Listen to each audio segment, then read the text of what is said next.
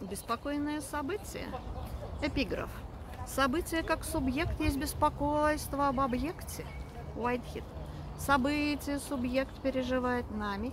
Событие субъект переживает нас и пережевывает. Он, оно беспокоится о нас. Мы разбрелись, как овцы. А он, оно пастух, заснувший на мосту не к месту. Не беспокойся, не переживай, не утони. Беспокойное событие.